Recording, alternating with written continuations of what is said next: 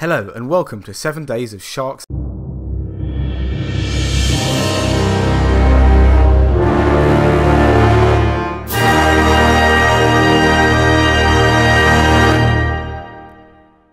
This week, an ocean advocacy group called Oceana released an interactive map which shows the movements of commercial fishing boats and also the movements of 45 tagged sharks.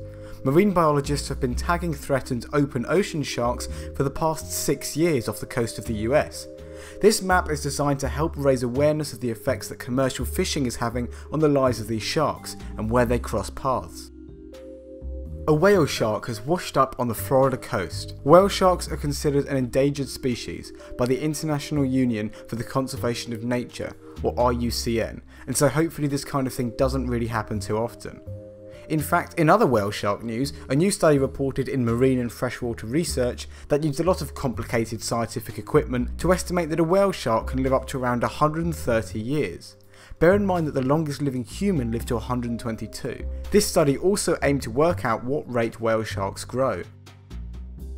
In other news, great white sharks are being seen increasingly more often in Canada, suggesting that in search of food, slowly more great white sharks are swimming to Canadian waters.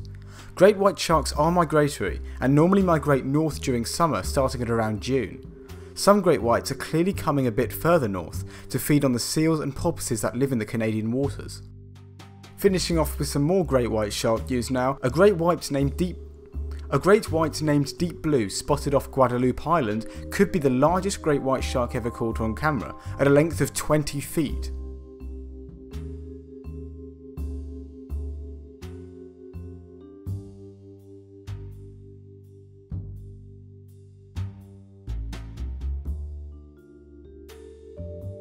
Great white sharks are normally around 11 to 15 feet long, so this one certainly is a particularly large specimen. Thank you very much for listening to 7 Days of Shark Science. I hope you enjoyed this Shark Week special.